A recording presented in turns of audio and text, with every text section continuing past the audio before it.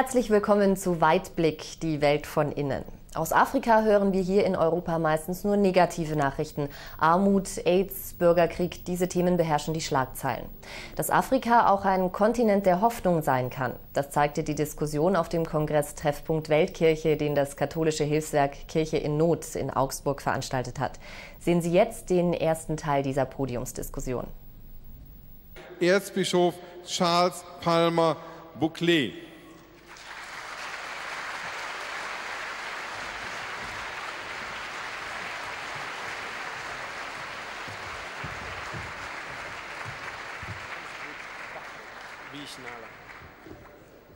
Aus Ghana.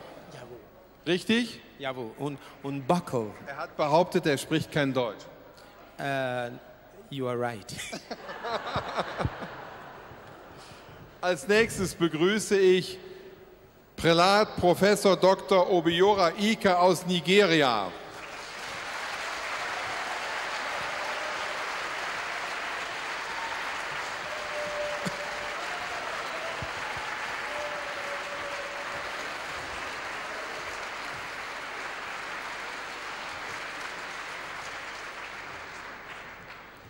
Erzbischof Antonius, nein, Antonius Nagib, Patriarch der koptisch-katholischen Kirche von Alexandrien, seine Seligkeit.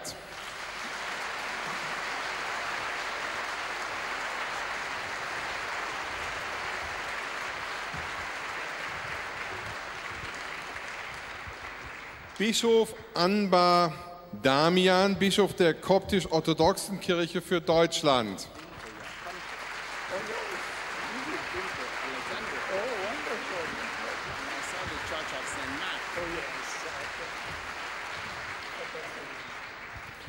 Bischof Alphons Georger, Bischof von Oran in Algerien.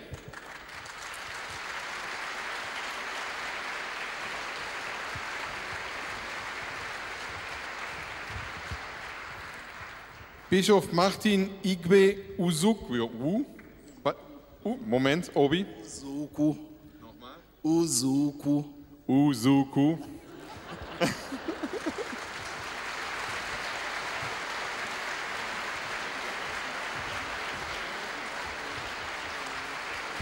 Aus Nordnigeria. Und Prinz Dr. Asfa Wossen Asserate. Wer kennt ihn nicht?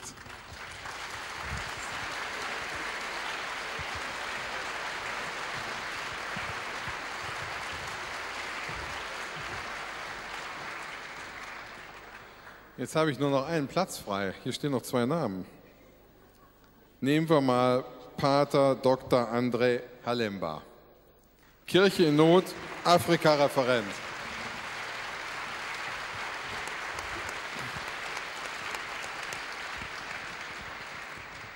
Und sie hat gesagt, ich bin im Hintergrund, aber sie ist verdammt wichtig. Jennifer Neuham wird übersetzen.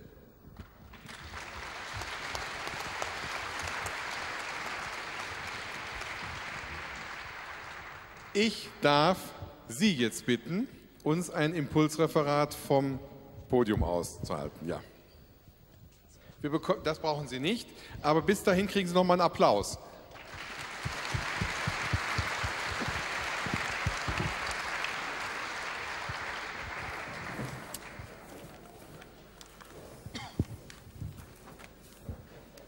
So, liebe Brüder und Schwestern, ich hätte gern wahrscheinlich auf Englisch sprechen können. Ähm, ich bin vorgestern aus Ghana hierhin gelandet und in zwei Tagen ich habe versucht, mein deutsche so äh, Umgangssprache ein bisschen zu glänzen und äh,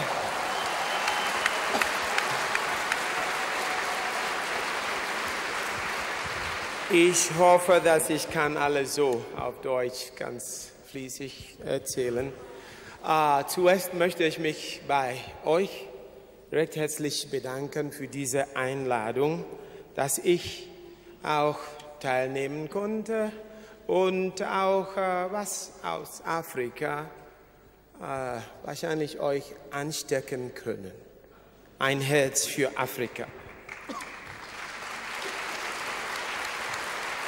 Ich möchte mich so sehr auch bedanken bei Kirchennot für alle Projekte, die aus, von Kirchennot ja in Ghana und in Afrika sehr stark unterstützt wurden. Recht herzlichen Dank für alle und für die Menge, die äh, Wohltäter von Kirchennot sind.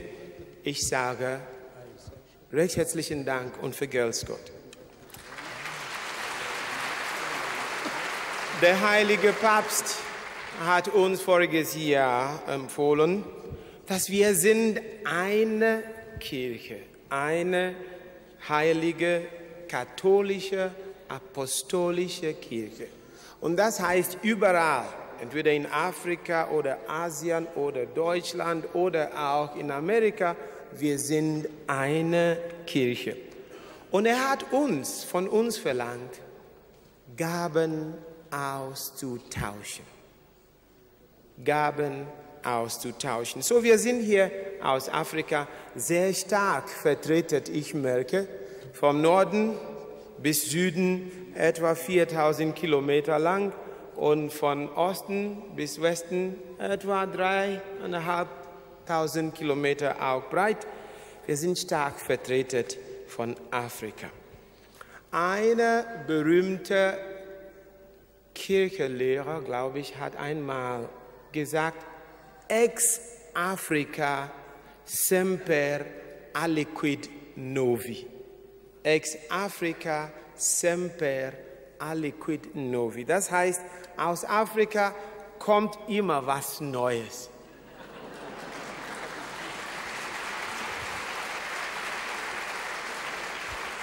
Und darum sind wir hier über Hoffnung von Afrika auch mit euch zu reden. Zuerst, ich möchte meine persönliche so Fröhlichkeit als Afrikaner äußern.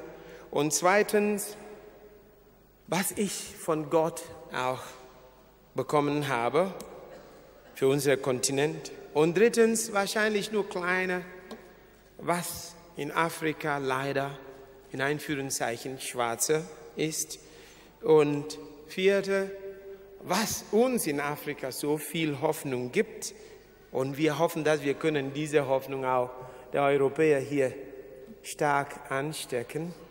Und dann am Ende ein Dankeswort. Ne? Okay. Ähm, ich möchte mich euch ein bisschen Besinnung machen und durch unsere so Schriften, heilige Schriften durchblättern. Der heilige Petrus hat uns auch empfohlen und ich lese drittens äh, Kapitel, Abschnitt 15 bis 16, sehr, sehr klein. So sagt er, sondern haltet in eurem Herzen Christus, den Herrn, heilig. Seid stets bereit, jedem Rede und Antworte zu stehen, der nach der Hoffnung fragt, die euch erfüllt. Für uns in Afrika, wir haben sehr, sehr große Freude und das ist wahr. Zuerst, der liebe Gott hat Afrika auch wie alle anderen Kontinente geschafft, oder nicht? Ne? Und wie in der Bibel, man liest es und wir sind stolz darauf. Der liebe Gott schuf, sah und es war gut. Und ich möchte das nochmal betonen, dass Afrika als Kontinent war auch vom lieber Gott geschafft worden und er sah doch, dass Afrika ein gutes Land, sehr guten Kontinent ist. Das ist wahr. Dann sind viele manchmal auch äh, ein bisschen überzeugt davon, ja, warum lachen die Afrikaner? Es gibt Krankheiten, es gibt Krisen, es gibt Konflikte, es gibt Bürgerkriege, es gibt Malaria, HIV und AIDS und Unruhe und alle unmögliche schwarze, schwarze Schlagzeilen merken man hier von der Fernsehen oder nicht? Von den Medien. Es werden nur schwarze und schwarze Dinge aus Afrika immer berichtet. Leider. Es tut uns manchmal leid. Aber unsere Zähne sind auch weiß, oder nicht?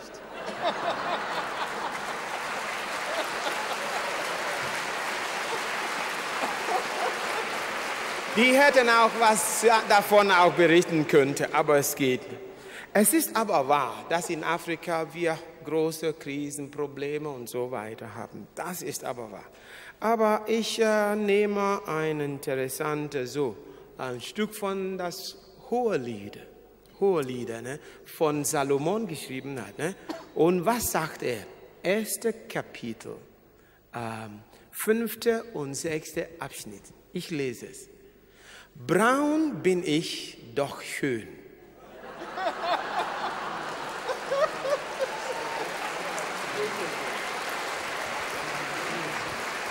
Stimmt aber.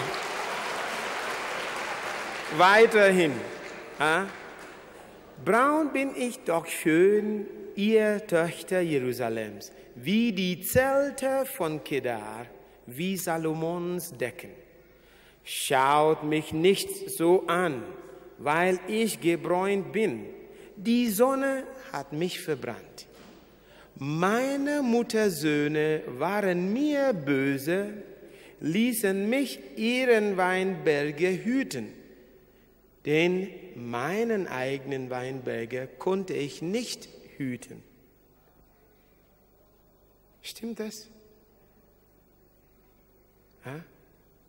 Die waren mir böse und die lassen, die haben mich gelassen, ihre Weinberge zu hüten, aber meine eigene leider durfte ich nicht. Und das ist auch was für uns daran zu denken. Ja, Afrika hat leider 400 Jahre Kolonialismus miterlebt, Sklavenheit und alles, was dazu gehört. Und etwa 40, 50 Jahre haben wir, was wir nennen, sogenannte Freiheit. Aber Sie wissen es doch.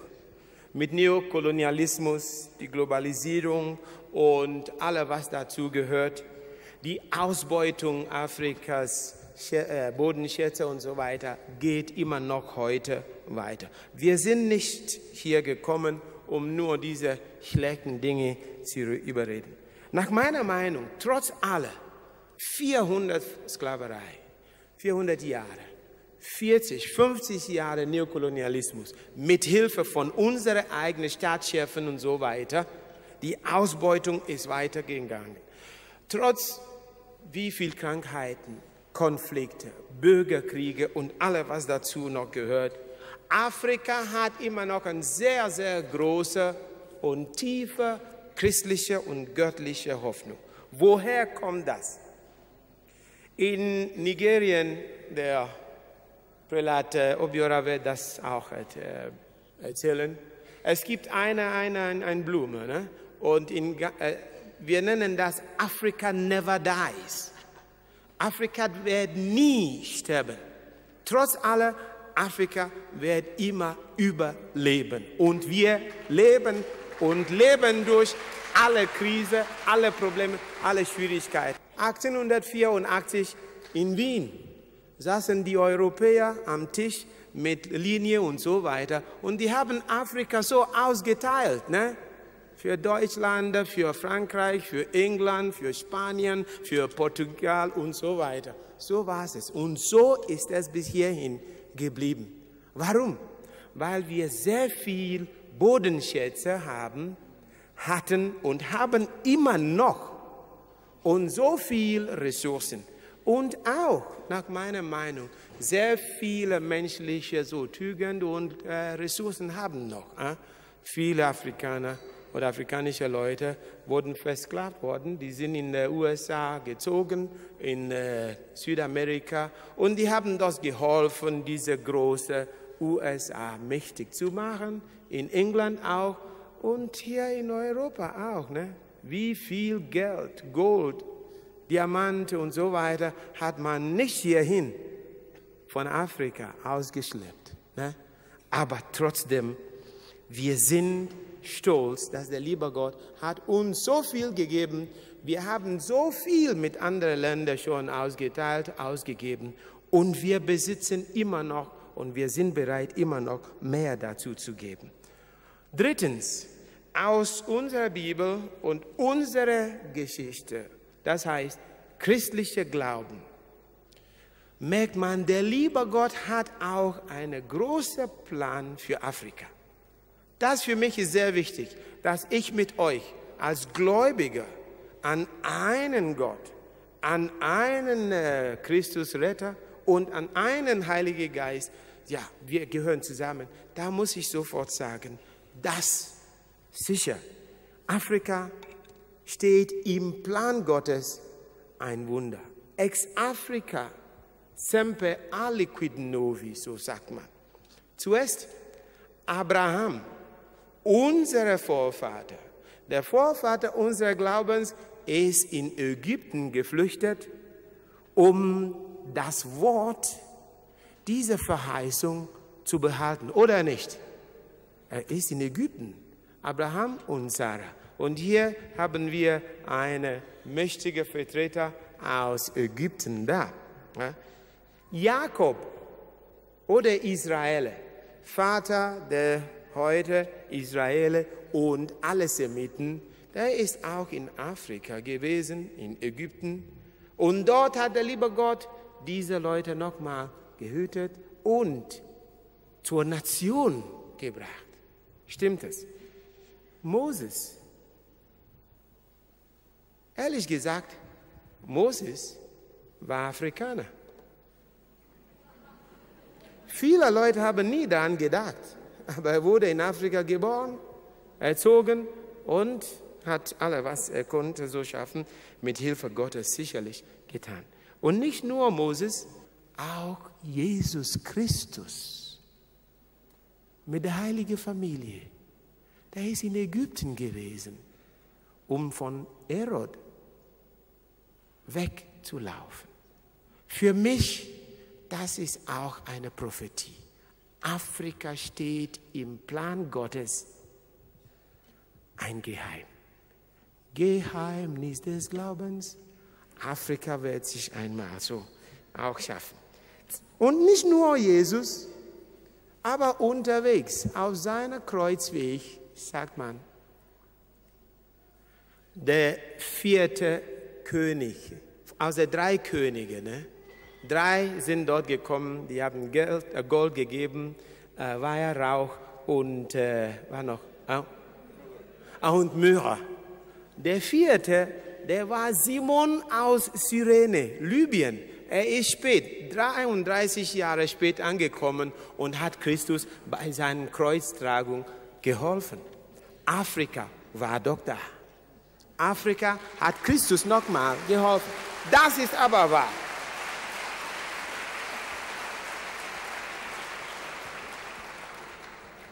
An dem Tag der Pfingsten in Jerusalem, die aus Afrika auch waren dort aus Ägypten, aus Libyen und andersrum. Ne? Ich wollte nur so sagen, dass im Plan Gottes, der liebe Gott, hat nicht nur Afrika als ein guter Kontinent gemacht, aber auch, dass Afrika bei lieben Gott treu geblieben ist, ist, was wir alle erfahren.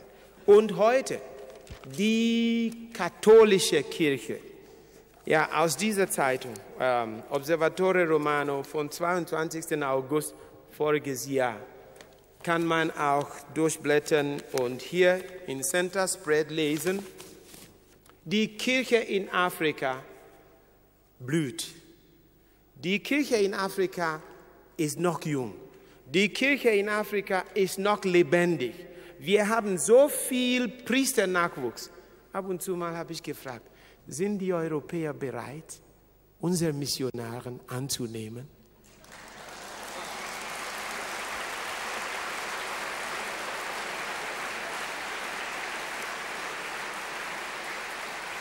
Ja, sicherlich. Wir müssen der früheren Missionare und Missionarinnen bedanken für diese Samen Christi.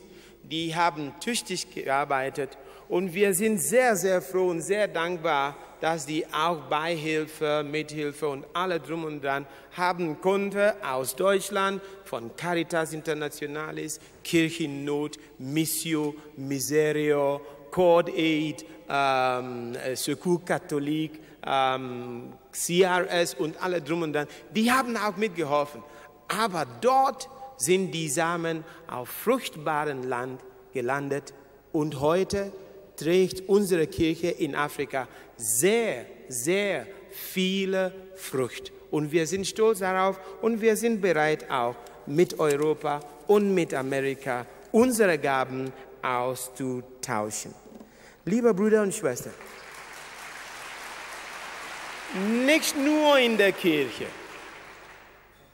Man muss nur Fernsehen anschalten und bei der Fußballer sind viele Schwarzen dort. Didier Drogba in, in, UK, äh, Michael Essien, äh, Nwanko Kanu, der hat einmal schon hier gespielt, äh, Hosni Osham, die sind da aus Ägypten. Wir sind da. Wir sind gar nicht unbegabt, überhaupt nicht. Wir sind von Gott sehr stark beschätzt und wir sind der Meinung, wir müssen auch geschätzt werden. Das ist wahr.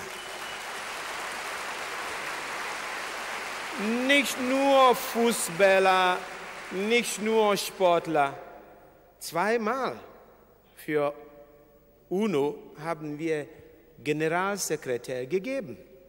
Butros Butros Ghali aus Ägypten und Kofi Annan, der frühere ähm, Generalsekretär, der war auch aus Afrika.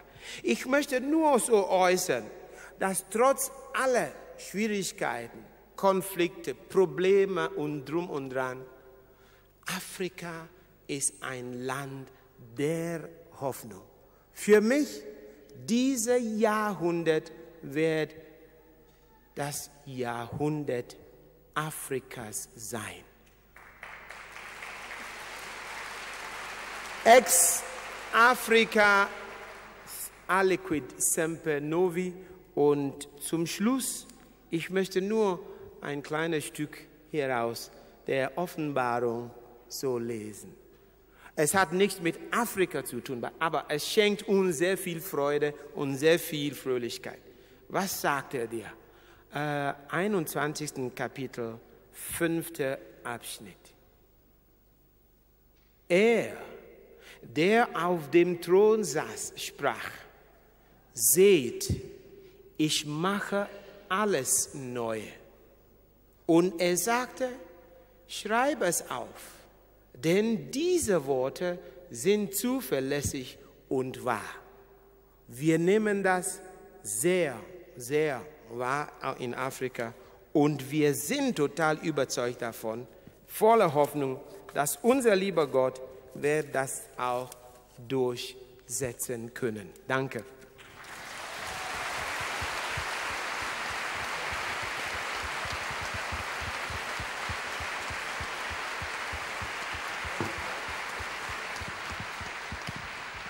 ein Erzbischof ja nie die Unwahrheit sagt, muss ich ihn irgendwie, muss ich ihn falsch verstanden haben, als er mir vorher sagte, ich spreche kein Wort Deutsch.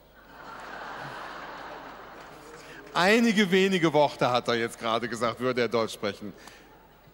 Bei normalen Menschen würde man sagen, sie haben gelogen, aber ein Bischof lügt ja nicht. Überhaupt nie, genau. Und er hat doch gesagt, mehr als fünf oder sieben Minuten kann ich gar nicht sprechen.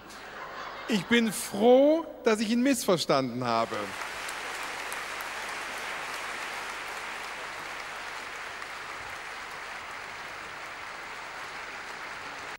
Wir hören jetzt zwei Lieder von Mighty.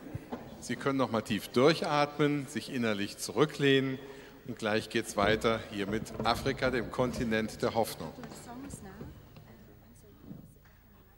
Dankeschön. Ein Applaus für Mighty. Dankeschön.